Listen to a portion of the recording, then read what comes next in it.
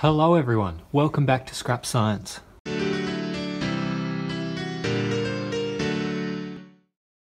It has been quite some time since Scrap Science uploaded a video. Uh, I think it's been a few months at this stage, but as of today, we're back making content for at least a little while.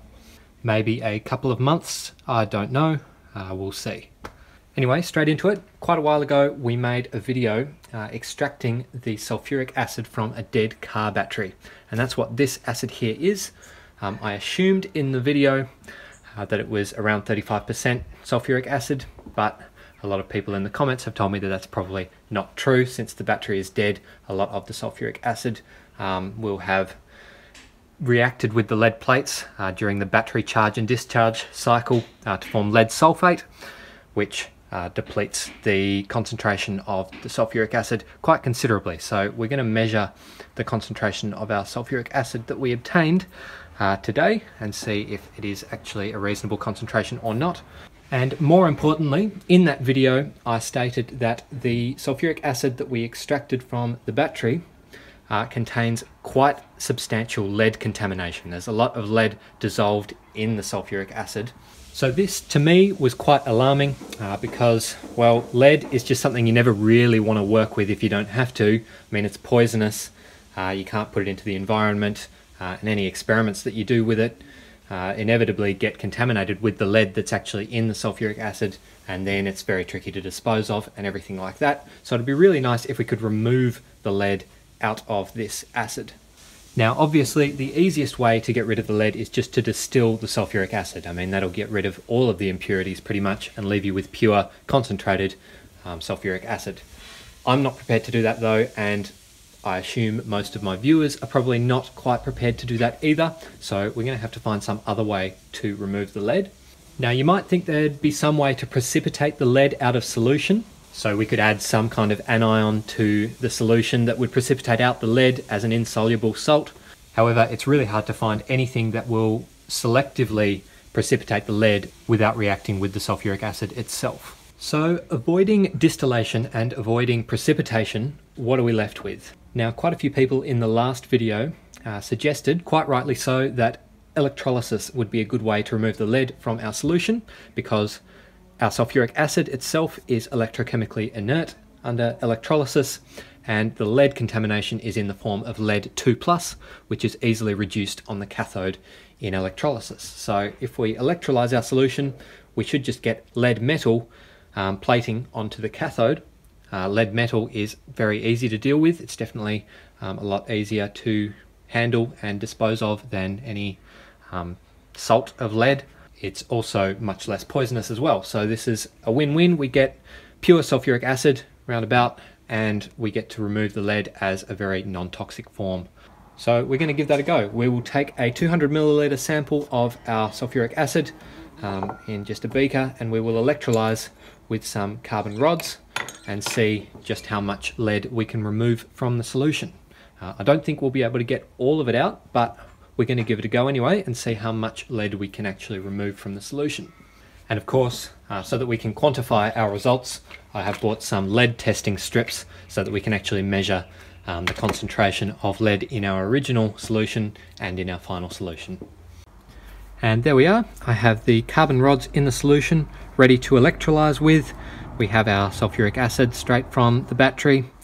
Um, and I'm about to put around 3 volts across the cell, so turning that on now.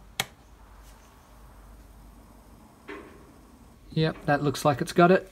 As you can see, we have hydrogen on the cathode, we have oxygen on the anode, as we expect from the electrolysis of sulfuric acid, and if we wait long enough, we should be able to see uh, lead forming or plating on the cathode. I don't see any point to running the cell with a high current density or even a high current for that matter. So what I've done is I've just limited the current to 150 milliamps, I think. Um, I think that should be plenty to plate out our lead. I'm going to leave the cell running for maybe 24 hours and we'll see how much lead we've removed. And final thing, I've put it in this box to contain any splatter from the cell or any spills or anything. All in all, we are pretty good to just leave this running for well 150 milliamps 24 hours And again, we'll just see how much lead we've removed in that time.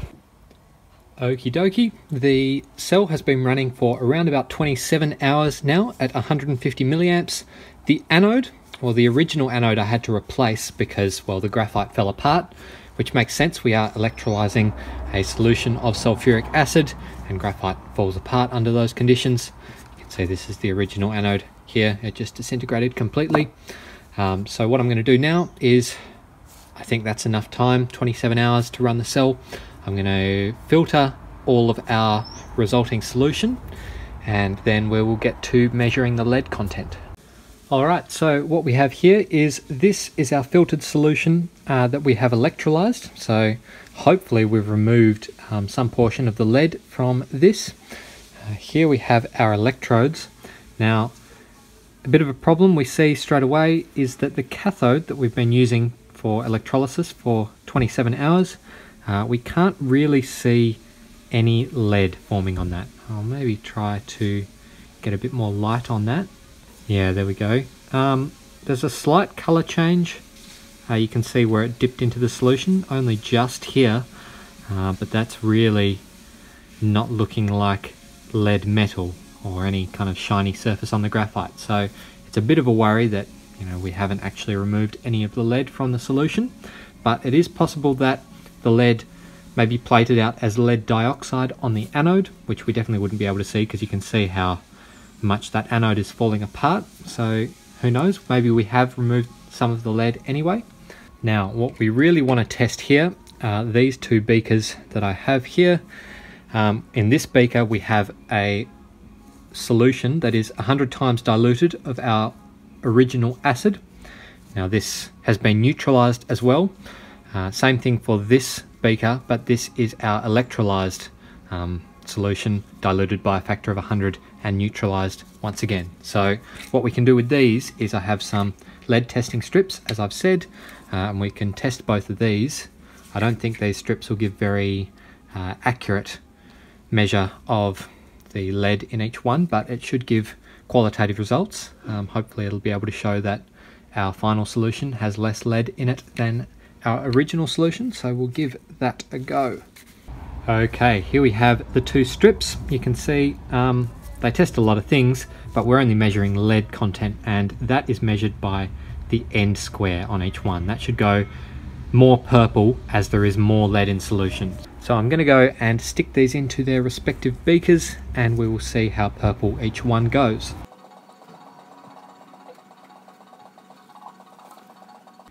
Yep, I think that's a pretty obvious colour difference there.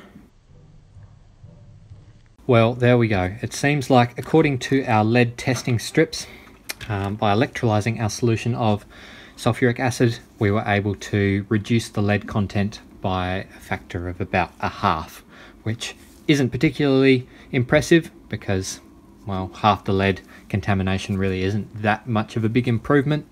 Uh, but with longer electrolysis, maybe this might be a viable way of removing the lead. I'm not really sure. I doubt you could remove all of it, as I've said before.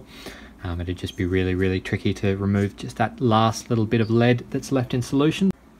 So honestly, overall, I think this method of removing lead from battery acid really isn't very viable. Uh, I wouldn't bother. If you want to use acid that you've taken out of a dead lead acid battery, uh, what you're going to have to do is distill it. Uh, in order to get rid of the lead contamination, there's really uh, no other way that I can think of at least. One other thing that I did do while we were performing this test was titrate uh, the concentration of our actual sulfuric acid uh, that we have from the battery. Um, titrating it gives uh, a concentration of approximately 20 to 22% acid, uh, which is actually a lot better than I was expecting. I mean, originally I thought it was going to be 35%, but then a bunch of people told me that it could be as low as 10% or something, so I was a little bit uh, worried, but titrating it, we get 20, 22% uh, sulfuric acid, which is, for this quantity of acid, around about 600 milliliters of concentrated sulfuric acid, which is not a trivial amount at all. Still though, gonna have to distill it at some point, which I'm not too happy about. Anyway, basically you can get pretty good quality acid out of a car battery, but it does contain lead. And while you can remove some of that lead by electrolyzing the solution, you pretty much definitely can't remove all of the lead. So you're to have to distill your acid at some point if you want to get rid of the lead contamination. See you later.